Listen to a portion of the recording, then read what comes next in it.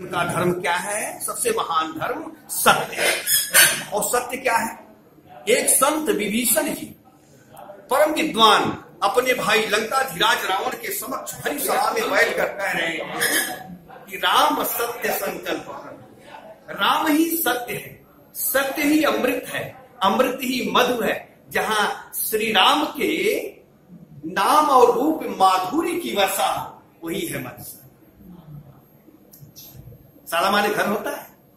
मधु माने अमृत अमृत वही है राम जी का रूप और नाम। तो कहा कि जब भैया भरतलाल एक बात ये बताएँ कि चित्रकूट रूपी मधुशाला में तो मैं निवेदन कर रहा था। मधुशाला का एक परिभाषा बताया आपकी मधुशाला है क्या? मधुशाला शाब्दी का। नहीं अभी आपने एक, एक अपना अपनी व्याख्या आपने अपनी व्याख्या की आपने। जी जी मधु माने अमृत। हाँ। मधु माने अमृत? हम्म, अमृत क्या है?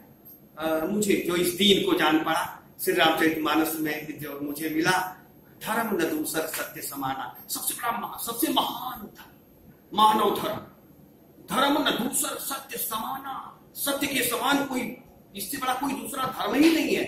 कहा, कौन कहता है? कहा, आगम, निगम, पुराण, पखाना, ये सारे लोग मुहर लगाते हैं तो कहा कि ये है क्या? सत्य क्या है?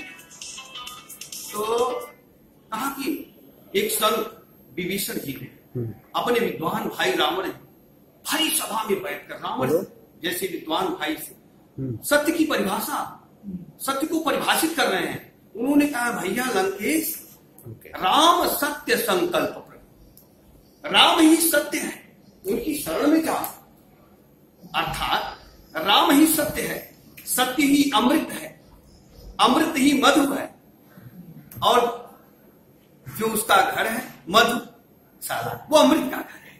तो यहाँ राम के नाम और रूप माधुरी की वर्षा होगी वही तो है मधुशाला वही तो अमृतशाला वही तो है सत्यशाला सत्य का घर तो वही है, है?